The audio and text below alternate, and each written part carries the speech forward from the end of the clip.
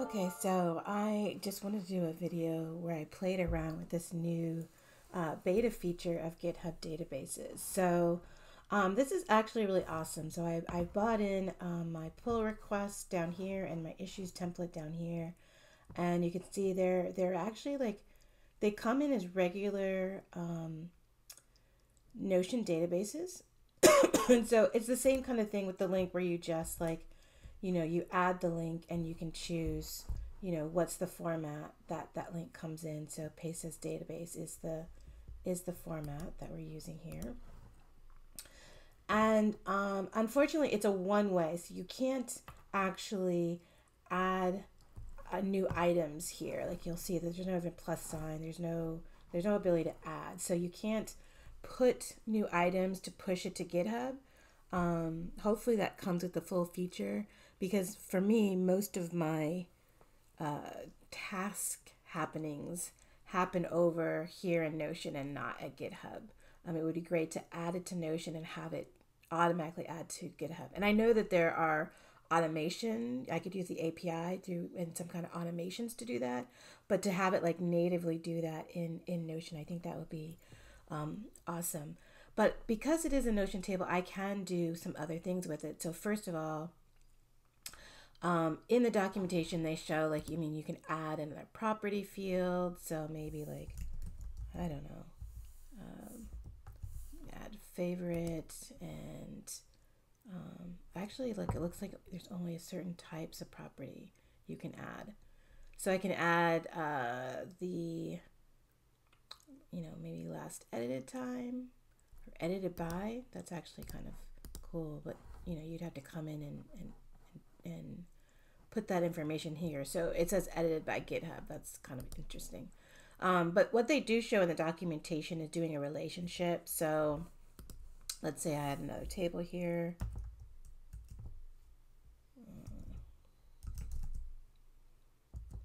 And um, maybe this table is about like, uh, in the example on the on the documentation they show like maybe you're tying it to your roadmap so if I do that relationship here, I could say like my roadmap,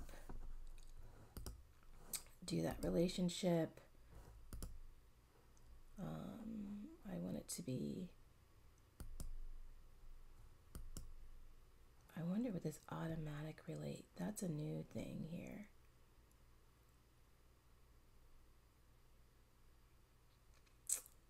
Ooh, based off of uh, links found in page properties.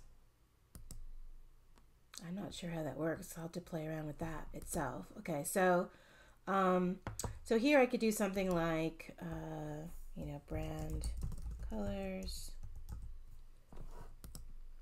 And then I could come in here and find, you know, the, the brand the brand color ticket. I'm going to open that. Uh, click on it here. And boom.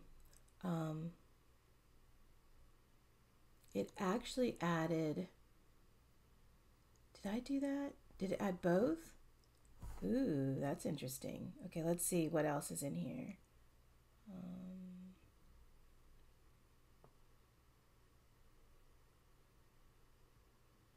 I'm not convinced that I added both.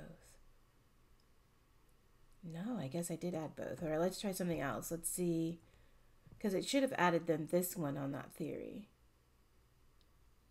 I must have added both. Let's undo this and do it again. I think I double clicked. So I want to add that. Yeah, I just double clicked there. Okay, I thought that was something really strange going on. All right, so um, so I could do this one-on-one type of thing, but this this seems to me a lot of overhead to, to slowly like keep adding these things in here, and I think that was going to be um, kind of a ridiculous way to work with this. So instead, because I love, you know, I love filters, what if I, um,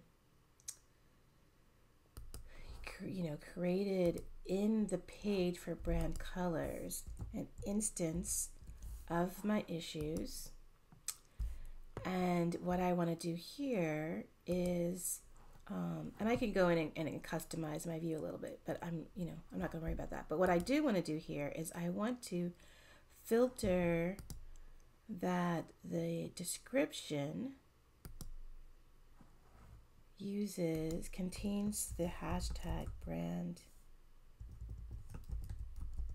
colors. And now all I have to do is maintain that on um, the GitHub side. I have to make sure that I put that description here. So here you can see I did it on the title. Let's let's add that. Let's put this, this advanced filter and say um, or uh, title contains brand color. So that's the way I'd grab it either way. So this one I'm grabbing either way because it does say in the description fields here um, to use the brand color. I can also, if I'm using this assign on GitHub, and if the usernames um, are the, the same, or somehow I'd have to, you know, that could be a mapping where the username is tied to the username of our Notion username. I don't know. I, I don't I don't know how I could use that, but that's something to know that it could be um,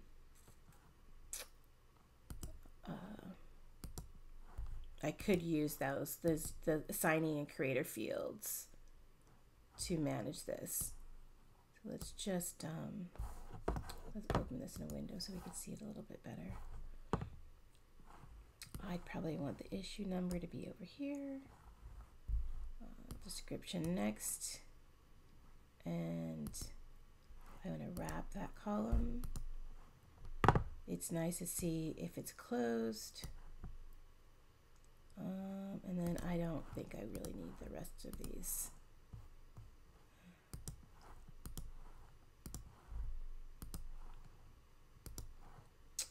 All right, and I can also do something where like maybe the view is, um, you know, filtered more so that there's just like this is all issues. Um,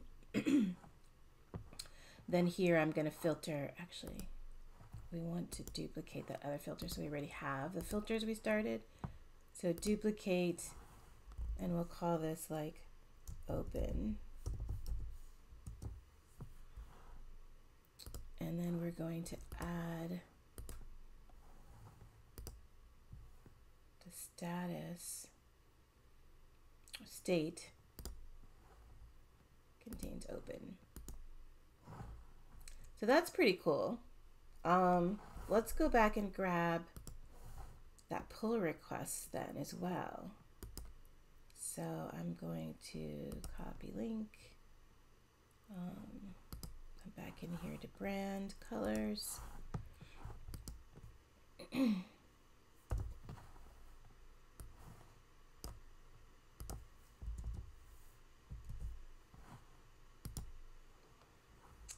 and here I want to do that same filter. So uh,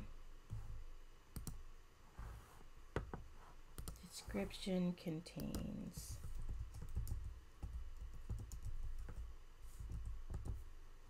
okay and that allows me then to see you know again here I did put the assignee so that is something that I could could filter on um,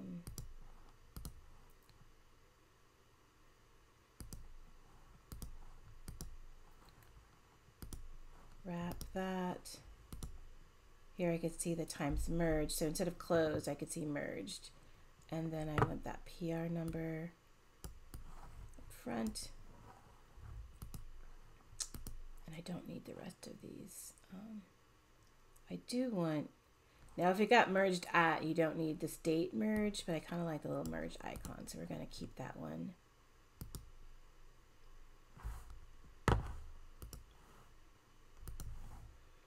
So that that's actually pretty workable. So now I've got kind of my, you know, epic, and I can see like any work that's being done um, on this epic. Uh, that's useful. I do find that that's that's going to be useful. Um, you know, especially like if you have a team, like maybe, you know, maybe there's a few folks that are using Notion and, and, you know, everyone else is doing your issues and pull requests over at GitHub, then you don't have to worry about getting everybody over here. um, where like people can, you know, who have to supervise can still see that this is happening. Um, also,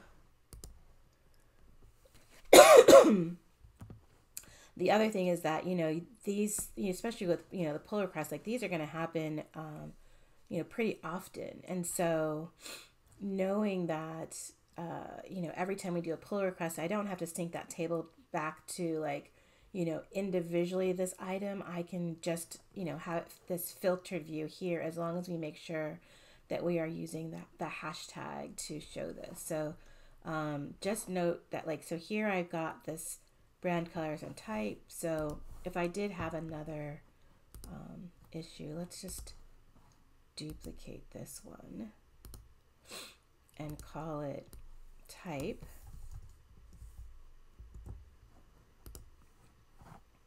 And then here, instead on the filter, we're going to use that uh, contains type. So it does require some governance over our, uh, you know, our notation and, and using of those hashtags, but you know, it works pretty, it's, it's pretty smooth. I'm, I'm happy with this, at least, you know, until we can get a, like a, a real two-way sync um, and even with pull requests, I mean, pull requests are never going to happen on the Notion side. They're going to happen on the on the GitHub side.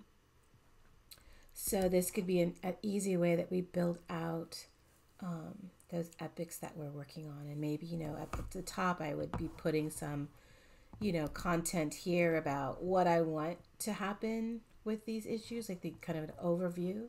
And then we've got, you know, our issues and, you know, yeah, our pull requests. So um,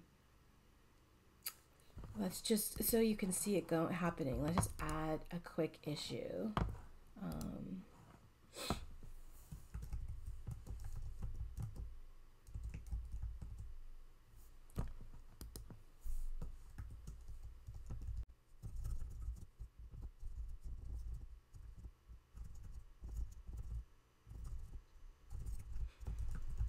okay, etc. You get the point. You don't need to watch me type. All right, so now I'm adding that here.